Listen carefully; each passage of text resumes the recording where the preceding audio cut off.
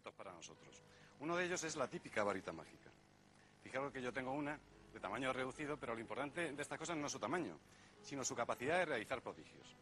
Fijaros que esta tiene una estabilidad extraña y una movilidad bastante rara también. Además, posee como un magnetismo especial hacia el dedo pulgar. Es curioso. Aunque lógicamente puede caerse como cualquier objeto. Pero puedo garantizar que es una, barata, una baraja, o sea, perdón, una varita sumamente equilibrista. Y que de vez en cuando hace unas cosas increíbles. Como por ejemplo, bajar y subir. Bajar y subir. Más difícil todavía en la mano izquierda. Curioso, ¿verdad? A ver si obedece mis indicaciones, aunque solo sea por una vez.